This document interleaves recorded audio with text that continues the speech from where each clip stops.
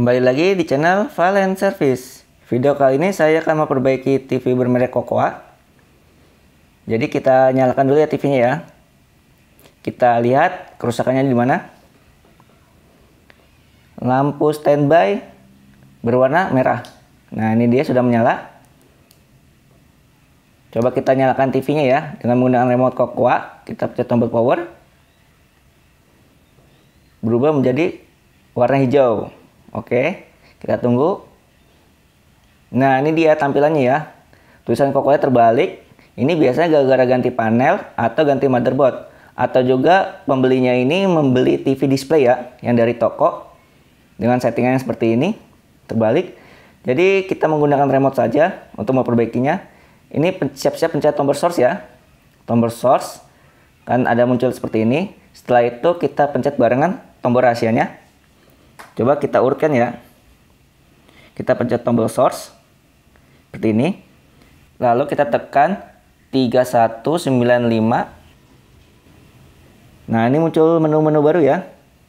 Kita pilih yang order option. Ini dia order optionnya.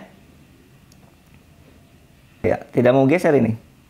Oh ya, sorry, sorry, salah. Ini lampunya di sana ya. Nah, ini dia.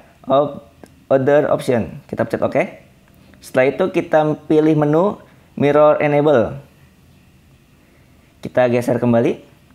Kita arahkan ke mirror. Nah, ini dia mirrornya. Di sini on ya. Jadinya harus kita off kan.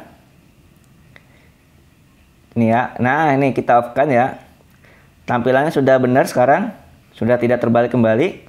Setelah itu kita keluarkan ya. Kita keluarkan atau kita matikan saja terlebih dahulu. Apakah settingannya akan tersave atau tidak kita matikan. Kita tunggu standby. Nah kita nyalakan kembali ya. Kita nyalakan kembali kita tunggu. Sampai berwarna hijau. Oke lampu indikator berwarna hijau. Kita tunggu. Nah ini dia ya. Tampilannya sudah kembali normal. Tidak terbalik kembali. Nah ini dia. Berarti settingan kita sudah berhasil. Oke ini merek Kokoa ya, 32 in. TV terbalik. Oke, mantap. Nah, itulah bagaimana caranya ya.